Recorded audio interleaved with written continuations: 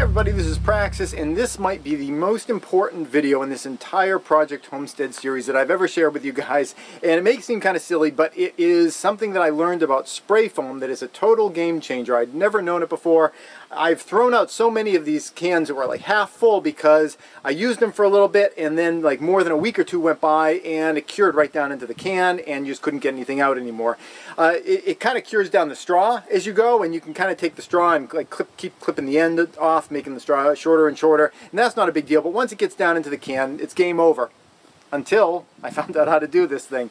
Uh, this can here, I opened, it's got to be like six months or, or, so ago, and I tried something out, uh, you know, several weeks ago, and it worked, but I didn't want to do a video yet because I wanted to be, make sure that I could repeat my success. I just did it again today.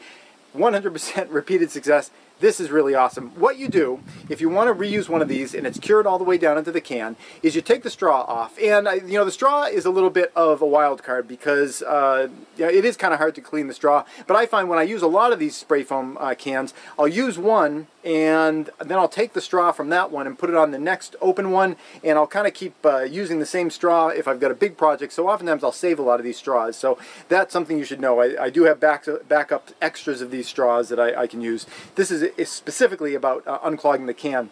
If you've got the can and it is cured right in there you just take a little drill bit that is just slightly smaller than the uh, the hole size. And you can see I already did it. It's got some spray foam on the end here. And uh, I'm just going to demo it.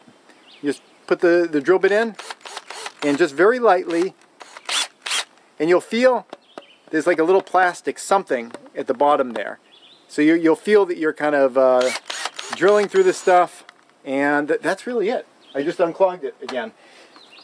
You do that and at least two times in a row for me, every single time I've ever tried it, it completely unclogs the can. So you're welcome.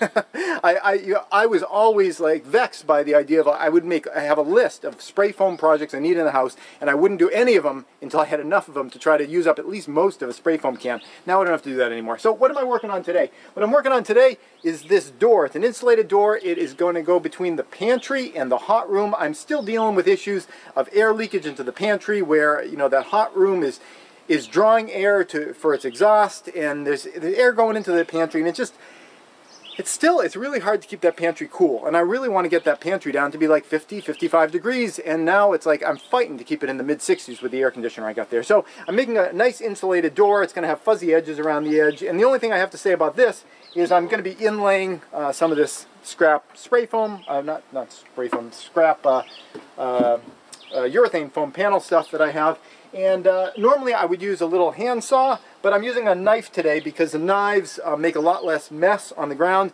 And with us having the chickens, I don't want little bits of foam everywhere because the chickens eat that stuff. So uh, if you ever wanted to cut the stuff and make less of a mess, use a nice clean chicken knife. Doesn't have to be uh, serrated or anything like that. Just a nice clean, sharp, thin kitchen knife. And, you know, not as easy as a saw, but it makes way less mess. That's it.